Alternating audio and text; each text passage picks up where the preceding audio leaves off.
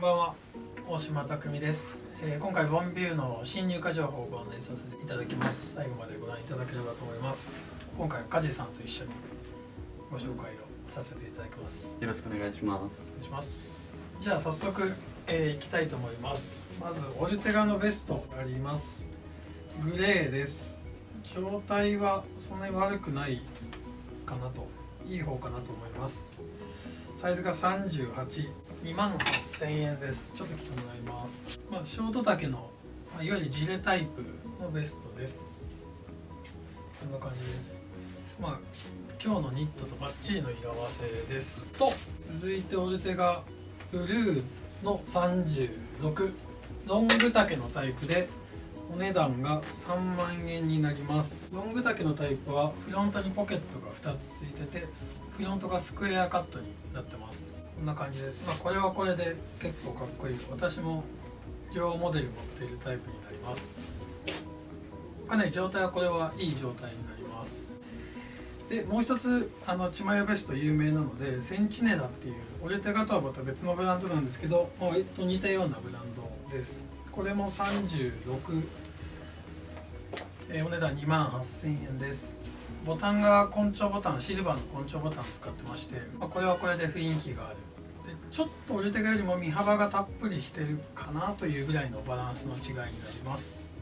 センチネダ覚えていただければと思います。これも割と今後仕入れていきたいなと思っているブランドになります。チマイヤベスト以上になります。続きまして、えー、リーバイスのピケパンツスタプレーです。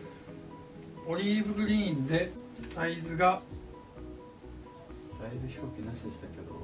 サイズ表記ないんですけども30インチぐらいですかね。サイトの方飛んでいただければ詳しくセンチで表記しております。えっとビッグ E です。黒タブビッグ E になります。かっこいいと思います。ちょっとあのテーパードしていない。まあ多分これ履くと少しこうフレアしてるような雰囲気のシルエットになると思いますます。お値段が1万8000円に消費税になります。続きましてラルフローレンオックスフォードストライプのボタンダウンイエローです。15サイズになります。5800円に消費税です。まあすごく便利なブレザーの中とかに入れていただいてもいいですし、まあ、使いやすいんじゃないでしょうか。38なので私だとちょっと大きいぐらい。カジさんでジャストぐらいになるかと思います。カジさんちなみに身長が？175です。175センチになりますよろしくお願いします。続いてアメリカ軍 M65 のセカンドタイプシルバージップです。9800円に消費税です。ちょっとサイズ表記がなくて詳細わからないんですけどカジさんに一回来てもらいます。こんな感じです。ミディアムレギュラーぐらいですかね。なので175センチとか、まあ、もしくは180センチ弱ぐらいの方でちょうどいいんじゃないかな。180センチですかね。ちょっと全体的に色あせていますがまあ大きなダメージはそんなになくフロントに少しこう汚れがあるぐらいです。それ以外は割と状態はいいです。M65 になります。続きましてアーペー製のモーターサイクルジャケット。フランス製のサイズ1になります。お値段が2万9000円に消費税です。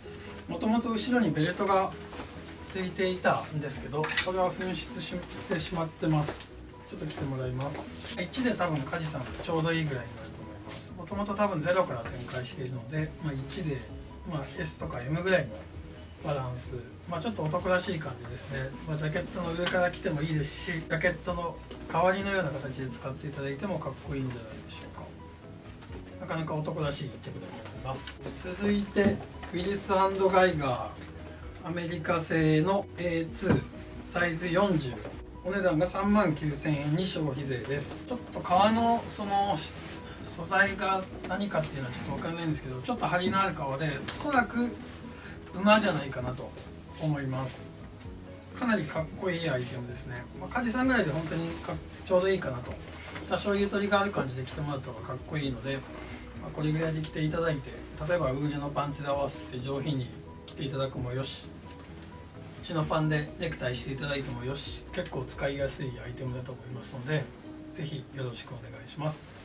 ランバンのバルカラーコート1万9000円に消費税になります。サイズとかちょっとよくわからないんですけど形はかなり綺麗かと肩の落ち方も割と自然ですね、えー、まあ梶さんだとちょっと大きいですけど、まあ、180ぐらいの方でたらちょうどいいかなと思います。でかなりお安くしておりましてその理由がもともとベルトがついていて、まあ、そのベルトをつけてもよし。つけなくてもいける仕様になってましてベルトループがこの脇にこうしまい込める仕様になってます。なのでベルト今紛失してしまってるのでしまい込んでるんですけど一応これ引っ張るとベルトループが出てきます。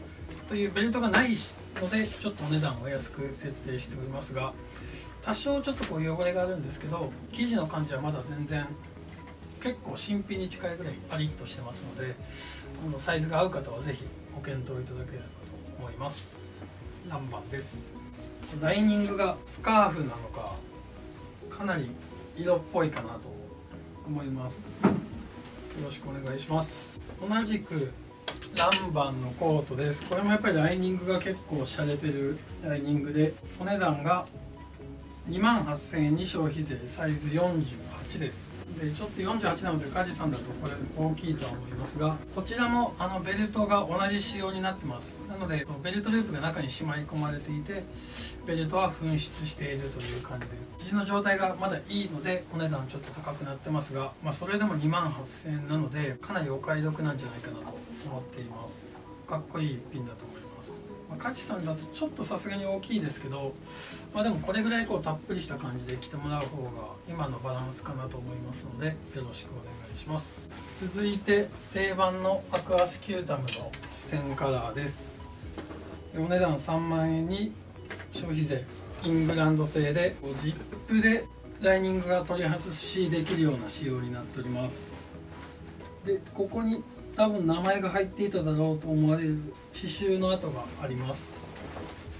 はい一回来てもらいます、まあ、これに関しても多分1 8 0センチぐらいの方でいいんじゃないかなと思います、まあ、さっきの何番よりもやっぱりもう少しこう男らしくてパリッとした感じの生地感で作りになってます。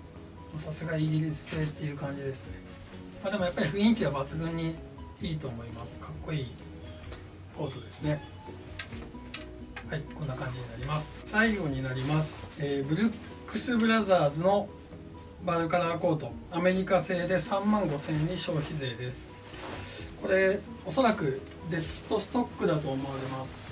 でこれもライニングが取り外しができる。ジップで取り外しできる仕様になってます。あのボディ周りだけライニングがつく仕様です。アクアスキュータムもそうです。アクアスキュータムも、えー、ボディだけライニングがつくタイプです。まあ、ブルックス・ブラザーズアメリカ製のバルカラーコートなかなか珍しいと思います、まあ、これも同じく1 8 0センチぐらいちょっと背の高い方じゃないとサイズが合いづらいかとは思いますが合う方は是非かなりおすすめの一品になります。ちょっとこうパリッとした生地感がまだ残っていてこれからどんどん味を出していける一品じゃないかなと思いますのでサイズが合う方は是非よろしくお願いします。はい以上になります。えーと、今回もアウターからシャツまでいろいろご用意させていただきましたので一度概要欄の URL から飛んでいただければと思いますのでよろしくお願いします。ちなみに梶さん何か一押しあればご紹介を。一押しはこれです。ウィリスガイガーの A2 ジャケット。どんな感じでいきますか梶さん。僕だったらまあでも今日みたいにセーター着て、まあ、チノパンあと、まあ、ジーンズ2人が一番多そうですけどなんかタイドアップしてウールパンツみたいなのも良さそうかなと思ってます。品よく着れる大人のレーザージャケットじゃないかなと思います。ありがとうございます。まああのちょっとやっぱりハードで男らしいところがありながらコーディネートによっては品よくまとめられるアイテムだと思いますので革物でまあ3万円台なんで割と手が出しやすい一品かなと思います。ちょっとあの両袖のこの辺りにダメージが汚れだったりあと多分やけどのようなあの高熱でちょっとこう皮が縮れたような跡がありますけどもそれもこう一つ味かなと思ってあの楽しんでいただければなと思います。はい、えー、それでは今回終了させていただきます。どうもありがとうございました。ありがとうございました。